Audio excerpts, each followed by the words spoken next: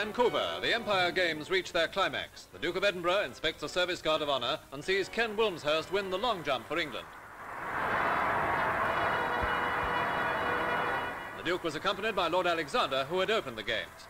Victory for England, too, in the weight. A new record by John Savidge, 55 feet and a quarter of an inch.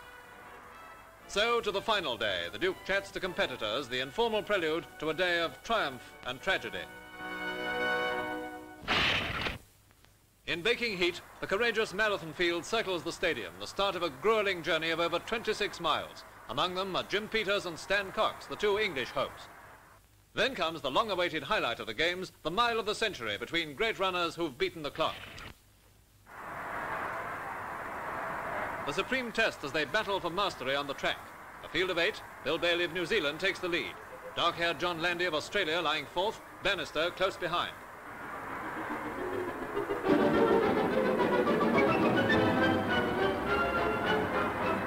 The end of the first lap, Landy goes out in front, setting a killing pace to try and blunt the famed Bannister finishing burst.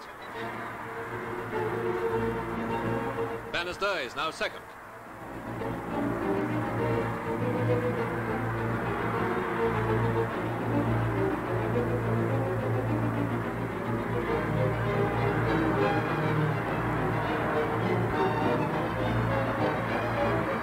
Second lap, then the third, still no change. Landy, the pacemaker, running at terrific speed. Already it's a two-man race. Landy, the world record holder, but Bannister, the first four-minute miler, is gradually closing the gap.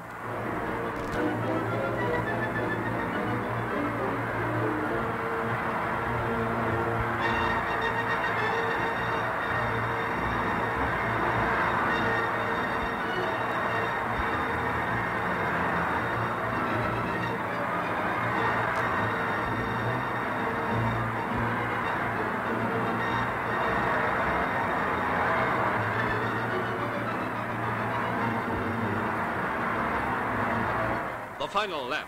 Despite Landy's early terrific pace, Bannister is still there, a relentless pursuer right at his shoulder. 300 yards to go. Still no finishing kick from Bannister. Has the Landy plan succeeded? Then comes the answer. Watch Landy look back over his left shoulder as Bannister passes him on the right.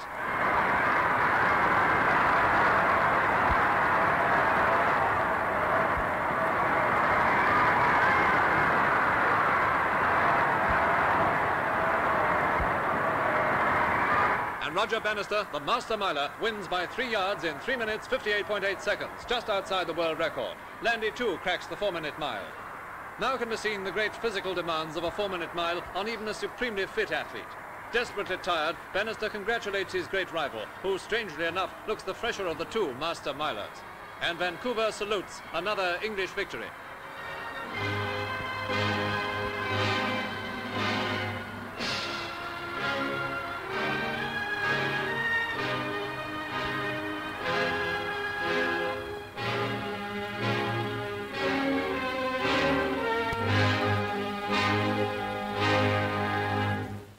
Then high and tragic drama with the end of the marathon.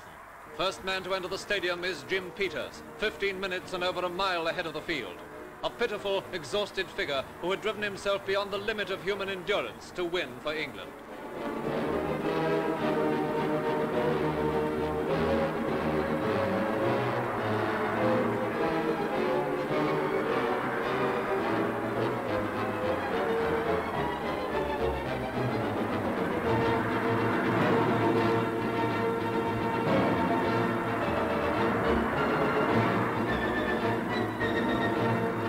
Officials look on, none daring to help, and so risk the disqualification of a great-hearted runner. Finally, the misunderstanding over the finishing line, and Jim Peters staggers into the arms of team masseur Mick Mayes, beaten for strength, but not for courage.